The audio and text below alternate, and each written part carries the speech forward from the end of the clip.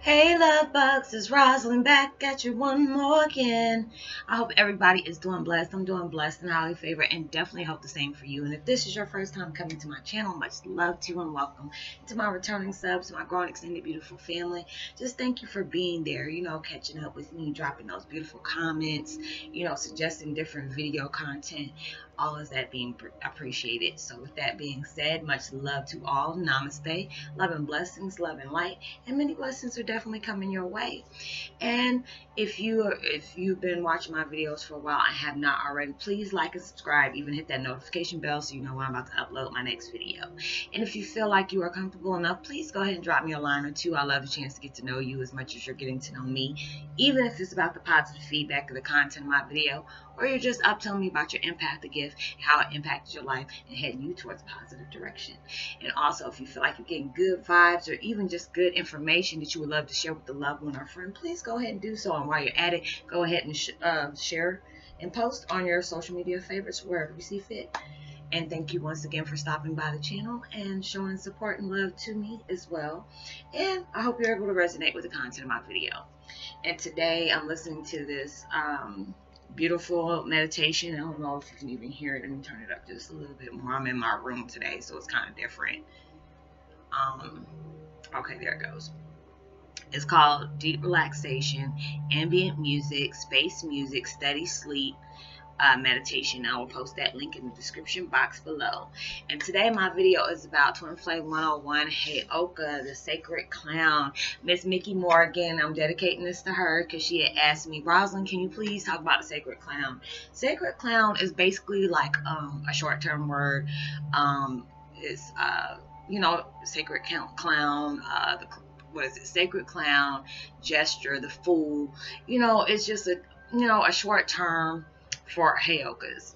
Um, it's it was something that was really intriguing to me. I remember it was like people asked me, "How did you find out you were, you know, a Heyoka?" Since I was little, I've always been fascinated with Native Americans. Um, you know how they do things, how they speak. Um, just fascinated on how they do things with, you know, their tribe or you know, their native land and, you know, things about history that I used to always read up on. My mom used to tell me about it because we used to live in Oklahoma for a while and in Texas. So we were around a, a lot of different tribes. Um, we had family members that were married into our family, like Cherokee and, you know, all these different ones I'm not really familiar with, but it was like very intriguing for me to, you know, find out different things about, you know, Native Americans, um, how they do things, how they, you know, they they feed, or you know, certain things that they do in their tribes and things that they, you know, they don't do in certain places and all that stuff, and you know about their native land. So it was just like I had friends, like when I lived in the Midwest, that used to get like I was like, Dad, y'all get checks just for being Indians. I was like, what the heck is going on? They said no because of, you know their land or whatever. You know they got basically got paid for that. So I was like, wow, you know that's interesting. You know I didn't know about crazy stuff like that. You know, except not trying to offend anybody or anything like that. But it was just you know very intriguing to me. So it was like um probably about a year it was a year ago, but I actually had dreams about it then, but I didn't know the significance on the reason why I kept on having dreams about sitting here like in front of a fire, like out in the summertime. It was like late at night, and you know, there was this chief that I used to go to. It was like Chief Proudfoot or something like that. I can't remember the name, but I'm just gonna say Chief Proudfoot. And um, he used to always just sit up here and tell me, you know, I'd just be like a little girl and just sit into the things that they used to tell me about their native country or how they used to th- do things with their forefathers, you know, back in their generation, different generations on how they used to do things, on how they used to eat, how they, you know, they do their family and stay together. Because, you know, they were always proud about their family, always stuck up for family members and stuff like that. And they were very close knit. So it was just a lot of things they were trying to teach me, but they were speaking in their language. I'm like, but yet I was like communicating with them in that language. I'm like, what the heck? I don't know this language. But they used to call me Little Heyoka. And I'm like, what is a Little Heyoka? My name is Roslynn. Why do you keep calling me that? You'll find out soon, Little Heyoka. So it was like, I didn't know how to spell it or anything like that. But I just started having these dreams about, um, an Indian chief and his wife, you know, and they were just showing me like the the war paint they used to have and um, the different things. I used to find like little arrowheads, and my mom used to give me little turquoise rings that, you know, she was like, oh well, you know, a certain family member they were Indian and they had all these you know, this certain jewelry that they, you know, their your grandparents made or whatever, and they just sent it down or whatever. So my mom used to show me a lot of turquoise and everything that they had, and it was very, very beautiful. So it was like all these things that you know I can sit up here and think about. But basically, it's like the sacred sacred clown and Heyoka is pretty much the same thing. It's just the way we go through things. It's like we try to make light of the you know the the chaos that we go through. It's like we don't be serious about things. We go through hard times, but we make jokes out of them. Like I didn't even know Will Smith was supposed to be a Heyoka, but it's just like it makes a lot of sense because he, I mean, the man acts straight plum fool, but he's serious at times, and it's like things that he would say is like, "Dad, you know, that's really deep," but I get it, I understand. And it's just like there's certain things that I do. If you've been with me for a while, you would see my videos. I, I try to make jokes about certain things, you know not to be so serious and get you to understand. You know, sometimes we have to laugh to keep from crying. You know, there are certain times we get frustrated because we go through so much hell.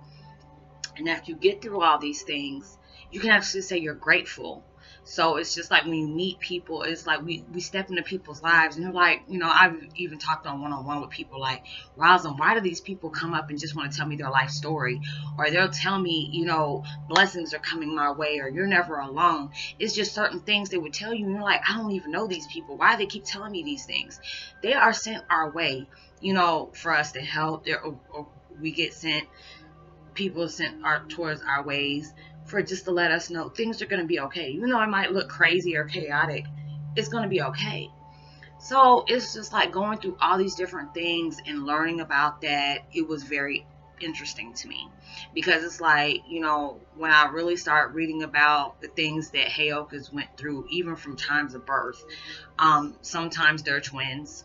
Which, you know, like I told y'all before, if you've been sitting with me for a while, um, I was supposed to be a twin. I was um, I always used to tell my mom, you know, when I was five years old, I was a twin. I used to cry a lot saying I wanted to be with my twin brother. I wanted to be with my twin brother. My mom argued me up and down saying, Roslynn, you do not have a twin brother. I'm like, yes, I do. My brother's name's Skipper. And I died, but he's still living and all these things. My mom was just like really freaking out. Like, my daughter is really weird, you know, but she loved it. She found it very interesting because I was telling her about my past life. I told her I was a twin that did not make it, but I was always around my brother. You know, we used to always play in front of this little oak tree, and I used to see him with his siblings, and I used to always tell him, you know, why you keep talking to somebody? There is nobody standing there with you. It's like just because you can't see her don't mean I can't. And my my brother, you know, Skipper, uh, used to always argue about that, you know, and it was just like certain times. I remember just thinking about it today. I was watching something about twins and I got very emotional because it started bringing me back to things that, you know, um, I used to experience as a child that I did not quite understand how my mom was like, You are not a twin, but you know, it's like certain people in my dad's family have told me, you know, how we were able to know that he was supposed to be a twin. I was like, because I was the twin that died you know so it's just certain things that i know i shouldn't have known that i do know. So it's just like hell because when we were born we probably had be you know there's twins or you were born breech um, my mom did have complications delivering me. Um, it was just like we it's like i always said i was doomed from the womb I was doing from the womb. But it's like when I tell people on one on one, it it was like certain times I could get so frustrated.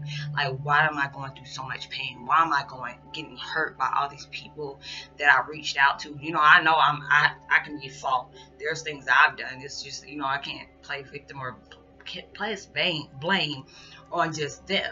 But I know there were certain things that I do, you know, because it's just like with me being blunt, I'm like, no, not truthful. I'm always like, you have no filter. I'm like, no, I don't. And it's just like, you know, now I'm just like more careful with my words, you know, even though there are certain times, you know, truth will hurt. Because people can come up to me, I'll tell them real quick, fast, in a hurry. You know, I don't mind being one on one with you. If I can help you, I'll do my best to be able to help you out. But I tell them also, I'm not that person that's going to tell you what you want to hear. I'm going to tell you things that you're not going to want to hear. There's going to be truth, you know, but you have to be able to prepare, prepare yourself for that. I'm like not going to pick the, you know, pick, you know, how some people can just be mean, just to be mean because they feel like they have to. I'm not that type of person. But if you ask me something, I'd rather for you to be hurt with the truth instead of a lie you know, because it's just like a lot of times we don't like hearing the truth about ourselves, the things that we need to change or things that we need to walk away from. There's a lot of people I had to walk away from because they weren't listening to me. And it was just like when I pray for them, I hope they were, you know, they heal, they find the answers that they're looking for, they can finally see what I was trying to tell them. But it was like if it's toxicated towards me, I, I can't deal with it. But I also tell them too, you have to be willing to want to help yourself as well. You know, I can't just help you do all the work and you're not trying to do that and you trying to say, Roslynn, this is not working. If you're not doing the work for yourself, of course it's not going to work out. Because, you know, I've, there's times that, you know, there's things I didn't want to listen to, you know, just like I told y'all about my drug addiction, you know, being, you know, smoking marijuana, you know, it was, it was, uh, like my medicine to stop the energy, block the energy from coming towards me because I was hypersensitive. Or I would hear different voices in my head and it would just drive me crazy. Not like on, you know, schizophrenic or whatever like that, but it was just like so many things I didn't understand. I just wanted to shut it off you know, I can even get people's thought process, like the things that I can blurt out saying something. I'm like, hey, that wasn't me, you know, and I had to stop that, you know, and it was just like so many times I had to, you know, try to control that. And it was like when we when we meet people, we mirror things they don't understand. They mirror things they they really don't like. Like, hey, you need to change this about yourself and this is like, wait a minute, you don't know me, whatever. And he's just like, well, yeah, no, obviously I'm sent to your life for something. And it's like we're supposed to be able to help other people just like we're supposed to be helping ourselves. But there's a lot of times, you know, people will talk to me and ask, you know, Rosa, where you come up with these crazy metaphors? I'm like, I don't know. You know, I just, you know, that's just my way of trying to show you or tell you about things. And people laugh at it like, girl, you are so crazy or you know, and it's just like you're so fun to hang out with, but then you can be an itch when you want to be. I'm like, yeah, you know, but that's just a Heyoka being a Heyoka. So it was just a lot of things I had to study and look up on. Because I was just like the sacred clown, you know, and Mickey was like, let her know sacred clown is the same thing. Yes, it's just a different term. And I'm trying to see if I'm pronouncing the, the Laoka late late i think that's how you pronounce it. I apologize if i'm messing up somebody's tribe. But you know there's you know people like oh are you a part of the laoka whatever? And i'm like what is that? You know like oh no you're not a part of this. Because there's sometimes people come up to me and start talking indian words. I'm like baby i don't know what you're talking about but i'm gonna go look this up. You know and i'm just like uh i'm you know i'm kind of stupid on that term. I don't know what you're saying to me and i hope you're not disrespecting me. But i didn't know. So it's just like so many people are bringing different things to me that I'm learning about. I love finding out new things, you know, because it opens me up to, you know, when we're gifted, especially being empaths, you know, you might you know, connect with me or connect with any other videos that are, you know, you're trying to do research research on to find out why am I the way I am? Why do I have more questions than I have answers? And it's just like certain times we have to meditate, we have to sit there and be quiet, go through nature and um, you know, seek our answers. You know, a lot of times our dreams tell us things that we weren't aware of, movies, books that we you know we're attracted to all those different things. So it's just like amazing you can go through these things and hold on pause for the cause. So i'm sorry about that y'all. But it's just like so many things that we you know we have questions for on why we are the way we are. So it's just like for us being heyokas you know we try to make light of terms but we also mirror things to people that they really don't want to know about themselves that you know we're like trying to give them that smack a reality like, hey, this is something you need to change, or hey, this is something you need to pay attention to. And it's like a blessing that I'm like that. It's like a blessing and a curse because a lot of times the curseful side is you lose a lot of friends for that. Because some people don't want to hear the truth about themselves. The truth can hurt. But then uh, the blessing part of it is you you're able to show people you know this is a part of you you need to you know you need to acknowledge. This is the part of you you need to learn because there's so many people i have met lately that they did not know there were certain gifts. You know they're multi-gifted. You know i was like hey you need to find out about this because just by you know i tell them okay tell me your story. And i you know i try to see if i can you know analyze things you know to you um, on the things that you might be or the things that you need to look up and, you know, that's the blessing part about it. You know, I was talking to a good friend the other day, and, you know, I sat back and I had so many things that I went through on the time I took my break. And, you know, I really sat there and analyzed the things that I was going through, the people I had to separate myself from, the people that are coming into my life. It was like I was blessed for all those things. Even though I, at the time I was going through it, I was really pissed off. Like, why am I going through this? It's frustrating me. You know, what is the lesson I had to learn about this? And it was just like, if I could have calmed down and just paid attention to the things I was going through, I can see why I was going through the things I was going through it for. So when I actually did that, you know, all of a sudden I just started crying tears of joy and told universe and God saying thank you. You know, I, I, I felt like I was being punished. You know, I said I put so many positive things out. Why am I getting punished all these times while I'm pushing out positive things and the people that are pushing out negative things, nothing happening to them that I knew of. So it was just like when I can actually say I'm blessed to be able to have neglect. I'm blessed for being in abusive situations. I was blessed for being uh, neglected, being abandoned. You know, all those things because I wouldn't have been able to know the true me. You know, finding out I'm a twin flame, indigo, INFJ, white witch, um, Heyoka, indigo. So so it's just different things that you, you know, you get to experience and you can actually say your downfalls can be a big blessing to you because without these things, you wouldn't have been able to know all these things about yourself. So I just look at all the things that I go through and I'm proud of the fact that I went through them because if it wasn't for that, I wouldn't know the things I know about myself. So I hope this was able to clear up anybody that had any situations or concerns about them being a Heyoka. You know, there's still more things that I've, you know, I probably researched on that I haven't known about that I need to about Heyokas. You know, like as I learn, I go ahead and make videos about it. So, you know, people can be aware of the things that are going on too. Be like, hey, you know, I did go through that. But it's just like for Heyokas, you know, we had issues being born into the world. We do things ass backwards. Instead of like letting things go, we go investigate it on reason why we're going through the things we're going through it. And we just take the long way of going through it. And it was like, girl, you could have just let this go or dude, you could let this go. But we we t- we went through this just so you'll have a story to tell for other people that can relate to you on the situations they're going through. So I hope it was able to resonate with you. I hope you had a blessed, safe weekend. You enjoyed yourself and you were safe. And you know, send out as much love and light and positivity as you possibly can. Know that you are truly blessed, highly favored, forever loved. And you know, knowing there's always somebody out there praying for your better days. And the post notification shout out I'm going to do for today. Let me see. I forgot to even leave my page open. Oh, I apologize, y'all. I got so many different people that are in my um that has subscribed. But oh, Jennifer Douglas, I forgot. She's new to the uh, family, the extended family. So I hope you have blessed, blessed, safe weekend and many blessings, infinite abundance, uh, loving loving vibes, healing vibes, and uplifting vibes to everybody who truly needs them. You know, drop me a line. I'd love to get a chance to get to know you as much as you're getting to know me. And let me know if you're on the notification squad so I can go ahead and give you a shout out.